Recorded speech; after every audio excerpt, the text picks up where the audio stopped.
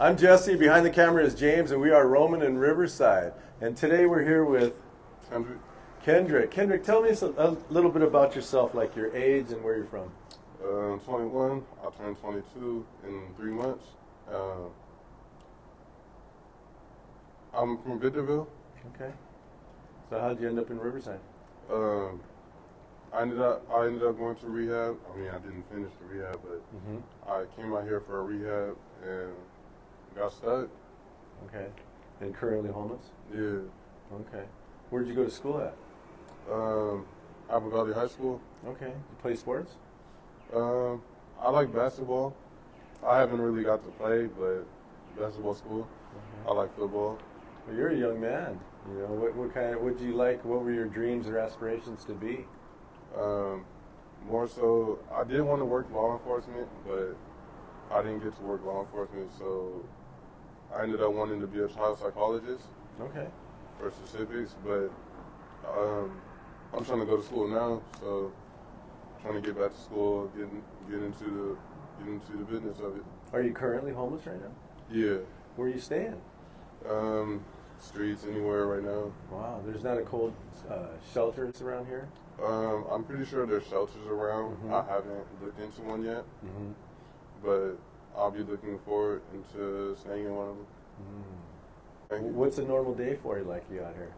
Um, walking all day. Just Really? walking anywhere that seems convenient. What do you do for resources? Um, I write music. Oh, do you? Yeah. No, and, and you sell it? or I'm Um, talking resources like uh, what do you, how do you survive? I do have music out, but Mhm. it hasn't gone anywhere just yet. Mm-hmm. So, But what do you do for like where do you get your meals and, uh, and stuff like that? um, more so like food pantries. Okay, and they're around here. Yeah, people come around and hand out food. So sometimes you get you get blessed with a tray. Okay. Do you have friends out here? Um, I'm pretty sure I do. I haven't seen any of them yet. Yeah. how long have you been walking the streets of Riverside? Um, for about two years now. Really? Yeah. Wow. And still can't seem to get off the streets, huh? Nah. Any of our viewers out there, if you guys find it in your heart to help Kendrick, young man, bright future ahead of him, good looking, physically able young man that's willing to work.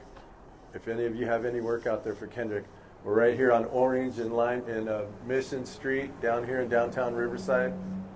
Uh, we would really appreciate it to be a blessing to him, and uh, I hope one day we can look back on this day and then and see a different Kendrick, you know. So, um, where are you headed to now? Um, well, honestly, I'm on to parole right now, Okay. trying to get that situated. I know it'll be. I know I'll be. I know I'll be off soon. Mhm. Like I don't do anything really like like smoking. The most I smoke is cigarettes. That's my only like addiction to smoking, pretty much. Like anything else is not really appealing to me. yeah. Do you have any family out here that can help you out? Um, I'm pretty sure I probably got family too. I haven't seen any of them either. Do they know you're missing? Uh, my grandma does. Okay. So you, your grandma raised you? Yeah. Okay. And she's probably worried about you, know? Do you keep in touch with her? Um, kinda. Mm-hmm. Most of the time I do. Okay. So what do you mostly think about? Your just your future and uh, Yeah. I think about like where my life's headed and where it's going and what I can do to better it. I bet you if you start praying more, that might work. Yeah. Because it helped me out a lot. Get a lot of people off the streets, you know. Uh, let me ask you this: Are you spiritual? Uh, yeah. I'm like spiritually free, so I'm not. I'm not necessarily religious. Okay. But you believe in God. Yeah. Right on. So, any crazy stuff you see out here? You know, Um, not really. you know. Not too much. How are the police towards you? Um, they're honestly fair, Mhm. but once you're behind bars, it's different because then the whole situation changes. It's like it's like they're more strict. Uh, So you got all that behind you, I hope. yeah, Can I pray for you?